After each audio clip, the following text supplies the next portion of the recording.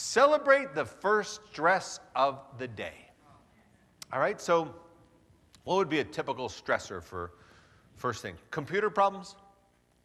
Yeah, some, I mean, that's a universal stressor, right? Uh, that we all run into those computer problems from time to time. So how do you normally handle when you're when you're busy and you're in the middle of a project and you and your computer like blanks out or you lose material? Three, 13, 7. Ah, computers are going to be the death of me. I hate computers. Ah. Or however you would run. Now, from next time, computer problems. Then you treat yourself to a, a nice glass of juice and some sambusa. And, uh, and, you, and you celebrate a little, right? And then you get back to what you need to get back to, okay? But the point is, stress is not an event, it's a perception of an event. And we can use humor to color our perception of reality. Right? If we can laugh at or poke fun at the first stress of the day or celebrate it, we can do the same with the second, the fourth, the seventh, the tenth, the thirteenth. And, and reminds us that we have power over our emotions. Yeah, it's hard to do sometimes. But if we can just remember to GPS it a little bit, sure enough, we'll be able to, uh, we'll be able to overcome that. Complain to yourself. All right? This is one of my, my very favorites. This is you, uh, you call your, your own answering machine or your, your, from your work phone to your cell phone or your cell phone to your home phone. So one phone to another that you own, somewhere where you can take messages. All right, so as soon as you start to get worked up or feel pressure or stress, you pick up the phone, you dial your own number, and it would sound something like this Beep. Hi, Scott. This is Scott. uh, if you're like me, and I know I am, you're not having a very good day. Oh, boy, my self esteem is so low that even my imaginary friend won't play with me anymore. Oh, boy, I don't know. I just don't, oh, it just drives me crazy. Uh, oh, no need to call me back. I'll just see you when you get home.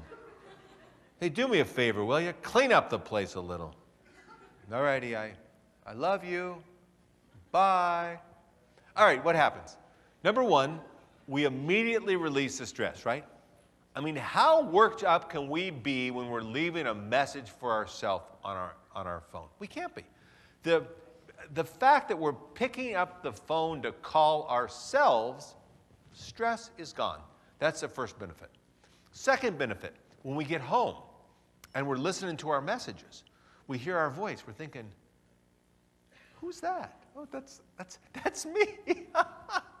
and then you, re- you recognize your reactive stress pattern because you're thinking to yourself, wow, I was pretty worked up over something that really wasn't that big a deal just two, three hours ago.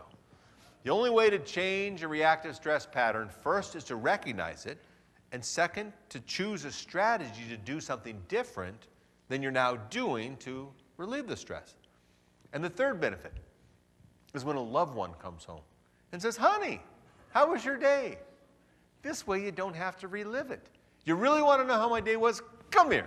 Come here. This uh, message number two and four and seven and ten and twelve.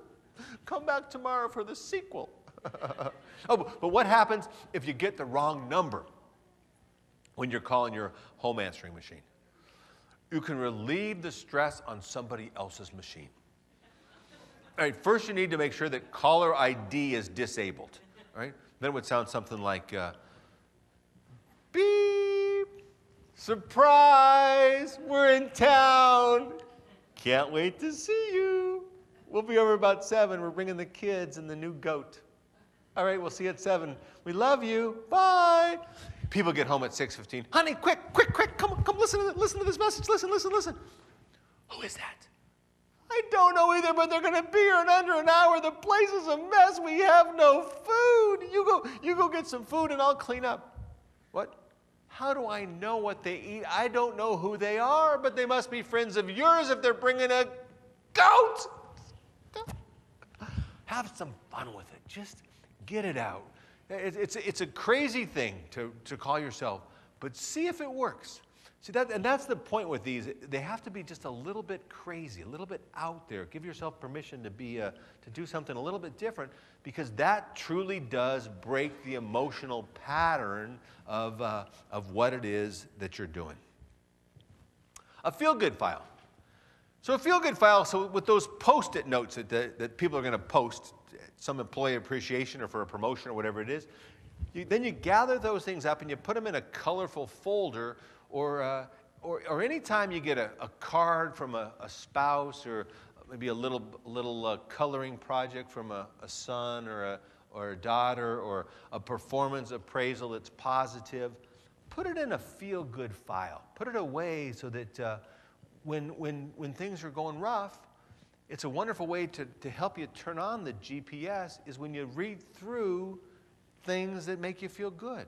All right?